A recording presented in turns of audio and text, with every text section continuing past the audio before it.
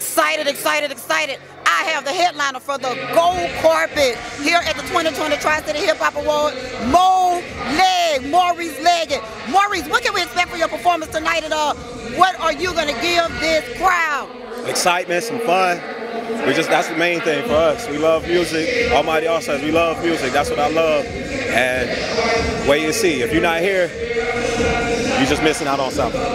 So,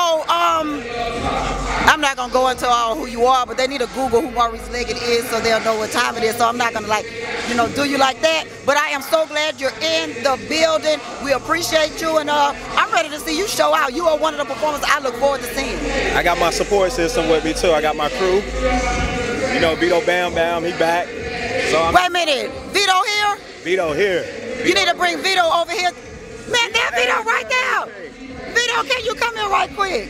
Y'all, Vito is in the building too. I don't know if y'all know who Vito is, but I'm finna let y'all see who Vito is right quick.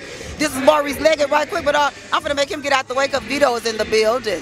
The headliner for the 2020 Tri-City Hip Hop Award. Vito! Y'all, Vito is home. Come over here, Libby, so they know. Vito is home, and I don't know if y'all been listening to the Nope Dope Music Retrospect. I've been playing his ish. But um, Vito, what are you looking forward to for tonight's performance?